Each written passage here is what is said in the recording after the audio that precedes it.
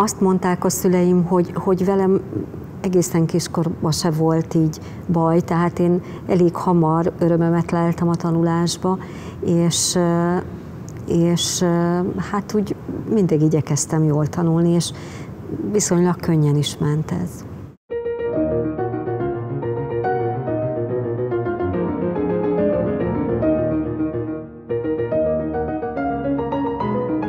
Mai adásban vendégünk Hegedűs Éva, a Granit Bank elnök vezérigazgatója, aki idén a Menedzser Szövetség évmenedzsere díjának kitüntetettje. Bizniszmenü Bombera Krisztinával.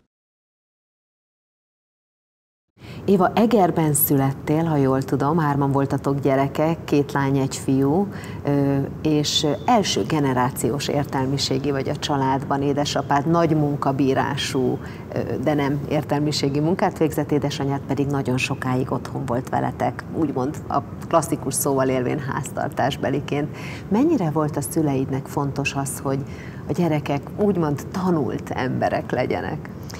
Nagyon fontos volt számukra hogy, hogy mit tanuljunk, de nem álltak ott ostorral, hogy, hogy tanulni kell, hanem sokkal inkább azt képviselték, hogy nem, nem nekik kell tanulni, amire így emlékszem, hogy nem azért kell, hogy ötöst kapjunk, hanem azért kell lenne tanulni, hogy tudjunk Budapestre jártál aztán egyetemre, és ha jól tudom, olyan baráti körrel rendelkeztél, ami alapján egyáltalán nem volt predestinálva az, hogy te bankár leszel, vagy közgazdász, irodalmi színpadosok, bohém népek.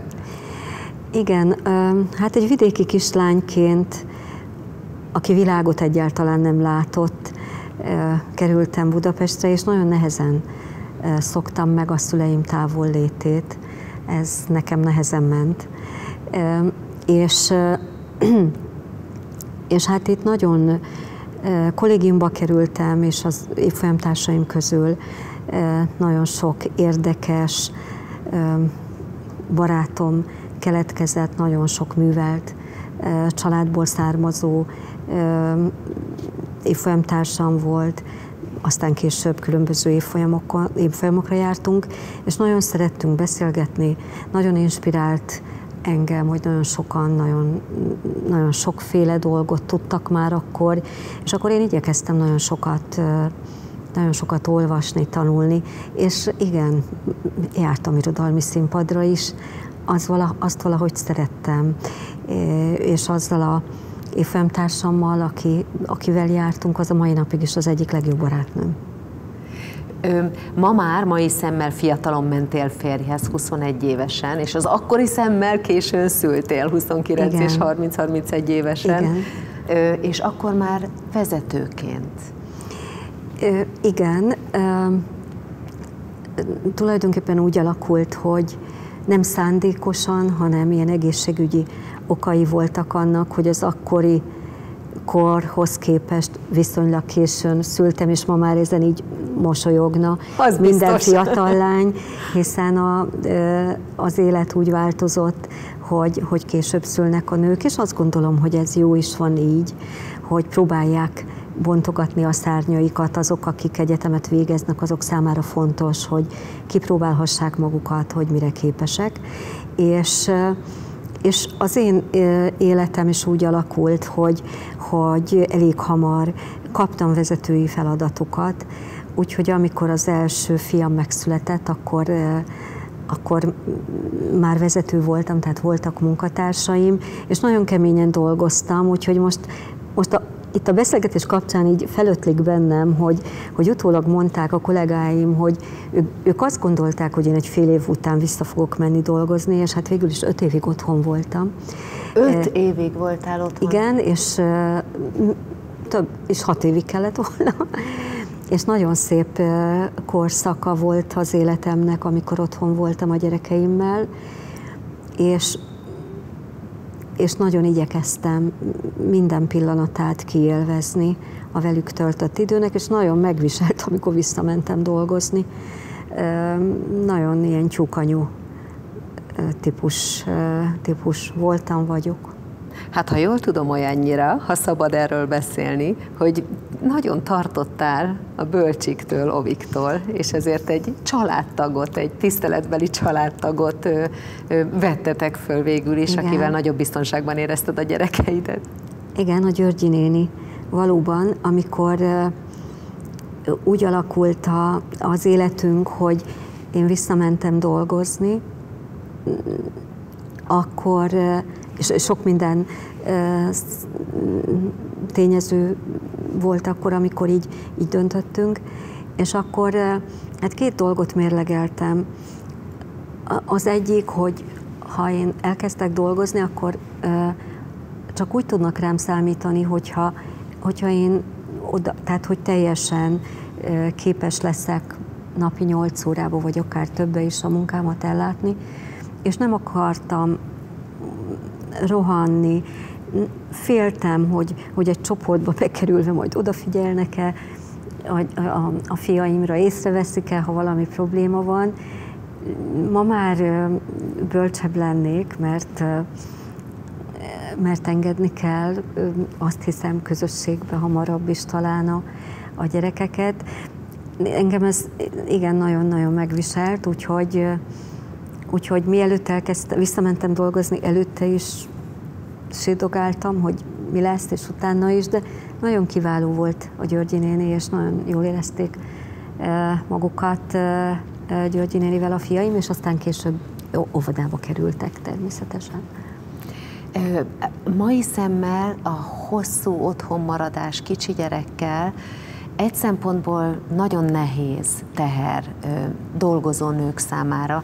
Természetesen a jelentősége óriási, és Isten ments, hogy ellene beszéljek, sőt, de a versenyképesség, a készségeidnek, a tudásodnak a fenntartása, frissen tartása egy olyan nehézség egy gyorsan fejlődő világban ma, amit kíváncsi vagyok, hogy te hogyan tudtál megugrani ennyi év otthonmaradással, és visszakerülni egy nagyon komolyan versenyhelyzetbe. És ma mit mondanál annak, aki ezt a döntést hozza, de nem akarja, hogy elmenjen mellette a világ arra az időre, amikor visszaáll dolgozni? Természetesen ezek a kételyek, hogy képes leszek-e ennyi idő kihagyása után fölvenni a versenyt, hogy az otthon töltött idő alatt természetesen igyekeztem lépést tartani ezzel azzal, de azért eh, anyagilag sem nagyon engedhettük meg magunknak, hogy mások segítségek igénybe vegyük főzni, takarítani, gyerekeket ellátni, azért az időt, energiát igénylő feladat. Az egy teljes munka. Szóval bennem is voltak kételyek, hogy mi fog történni majd velem, de valahogy olyan erősen élt bennem az az érzés, hogy ez egy visszanem jövő pillanat az, hogy, hogy, hogy amikor megtanulnak járni, beszélni, felfedezni a világot, eh, akkor az az élmény nem csak nekik fontos, hanem nekem is, hogy, hogy, hogy azokat a kedvességeket, együttléteket, azt, azt meg kell élni. Amikor eh, nagyon fiatal voltam, akkor én is azt hittem, hogy másokat kell utánoznom bizonyos dolgokba, és aztán egy idő után rá jöttem, hogy, hogy mindenkinek a saját érzéseire, ösztöneire kell hagyatkozni, és nagyon sokféle élethelyzet van, és nagyon sokféle jó megoldás van, de ha nincs más olyan körülmény, ami ennek ellent mondana, én mindenkinek azt tanácsolnám, hogy legyen otthon a gyerekeivel, ha lehet minél hosszabb ideig.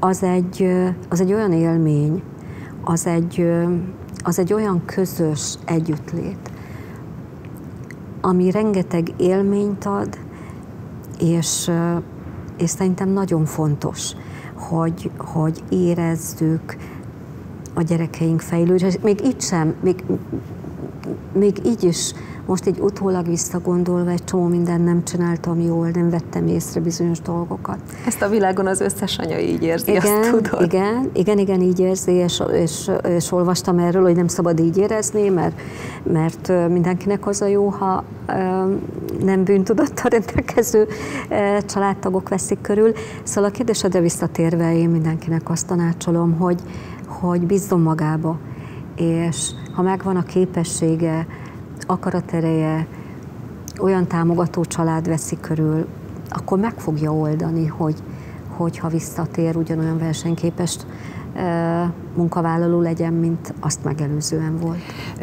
Tetszett, hogy azt mondtad, hogy a kérdésemre visszatérve mindenkinek azt ajánlott, hogy minél hosszabban maradjon otthon a gyerekével, gyerekeivel. De nem a kérdésemre válaszoltál, ezért kuncogok, mert a Igen? kérdésem az volt, hogy amikor valaki sokáig van otthon, ahogy mondod, egy vissza nem térő jelentőségű élethelyzetben a gyerekével, akkor veszít a tudásából, akkor te hogyan tudtál visszalépni abba a munkakörbe, vagy abba a helyzetbe, vagy abba a férfiak által dominált világba, ami úgymond elment fölötted azokban az években, és ez ma egy fiatal nőre sokkal erősebben igaz talán. Azt gondolom, hogy nagyon jól akartam dolgozni, nyilván, nyilván nagyon sok minden tudást föl kellett szednem, és visszajön. Visszajönnek a, visszajön az önbizalom, van -e ebben felelőssége akár a korábbi munkahelynek, jelenlegi munkahelynek, ma úgy hívják, hogy családbarát megoldások, e, upskilling, tartás igen, kapcsolat van, a kismamával? Igen, van. Azt gondolom, hogy ezeknek nagyon fontos szerepe van, hiszen az egész életünket nagyon sokféle dolog befolyásolja. Az is fontos, hogy a kismama úgy érezze, hogy ha visszatér, akkor szükség van rá. Ugyanakkor azt is tudomásul kell venni, hogy egy, kettő, három, de öt év alatt annyi minden változik, hogy ezt a tudást meg kell, meg kell szerezni. E, és mint ahogy az életbe semmire se lehet oda-vissza retúrjegyet venni, mindig jönnek újabb és újabb lehetőségek, akadályok, amiket, amiket, amikkel, amiket föl kell ismerni, meg kell vele küzdeni, meg kell tudni oldani, és, és hát én azt gondolom, hogy ez nem egy esélytelen vállalkozás, sok-sok nehézséggel, de nekem sikerült. Egy nagyot ugorván az időben, és olyat kérvén tőled, ami kicsit zavarba ejtő, mert az ember felnőtt gyerekei, sőt már a kamasz gyerekei sem szeretik ma az anyukájuk, vagy az apukájuk róluk beszél, akár mekkora büszkeséggel, akár milyen hosszan tudna róluk beszélni. De mi az, amit a, a gyerekeid értékrendjéről szakmailag és emberileg el tudnál mondani, vagy elmersz mondani, anélkül, hogy haragudjanak érte, ami nagyon hasonló a tiédhez, és ami nagyon más? Meggyőződésem szerint minden ember más. Um, és megismételhetetlen, mint tudjuk. Én nagyon büszke vagyok rájuk, uh, sok minden miatt. Uh, hogy csak néhányat mondjak, nagyon érték uh, orientáltságuk van, a saját teljesítményükre szeretnének büszkék lenni, és mindent megtesznek annak érdekében, hogy, hogy saját értéket hozzanak létre. Nagyon keményen dolgoznak. Nagyon megértőek. Egymással szemben is, és velem kapcsolatban is. Nagyon, nagyon műveltek. Mm. És hát azt gondolom, hogy, hogy úgy igazán jó emberek, akik mindig azt, azt tapasztalom, hogy, hogy meg akarják érteni a másik embert, el akarják fogadni azt is, hogy olyan dolog történik, ami, ami éppen számukra nem, nem kellemes. Keményen dolgoznak, szorgalmasan, tudják, hogy arra tudnak büszkék lenni, amit ők saját maguk hoztak létre. Magánemberként, anyaként, társként, mire vagy a legbüszkébb? És mivel tudom, vagy észrevettem, hogy tépelődő alkat vagy, mi az, amit egy konkrétum szintjén bár megbeszéltük, hogy nem csinál ilyet az ember, de másképp csinálnál, akár önmagaddal, akár a szeretteiddel kapcsolatban?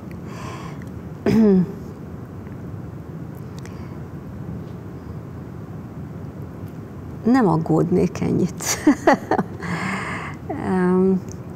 ezt, ezt biztosan, biztosan gondolom, és hát ha a sors megajándékhoz majd unokákkal, akkor azt szoktam mondani a fiaimnak, hogy azokat a hibákat, amiket elkövettem, azokat nem fogom.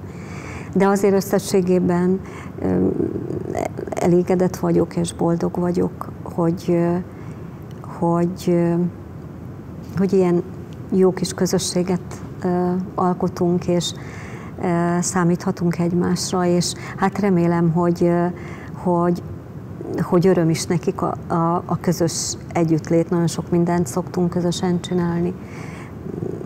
Közös vasárnapi ebéd, közösen megyünk el nyaralni, és ezek nagyon-nagyon föltöltenek, és amire a legbüszkébb vagyok, az az, hogy ők vannak, és hogy olyanok, amilyenek, és nekem pedig megadatott az a lehetőség, ami valószínűleg mindig bennem szunnyadt, hogy megmutathatom, hogy, hogy, hogy nem csak anyaként, nem csak nőként, nem csak társként, hanem munkavállalóként is tudok értéket létrehozni.